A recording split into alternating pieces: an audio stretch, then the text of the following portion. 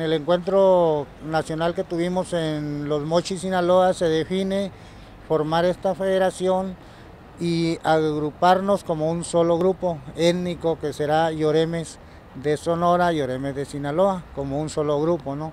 Para trabajar en lo que es este, lo cultural, lo educativo y lo tradicional.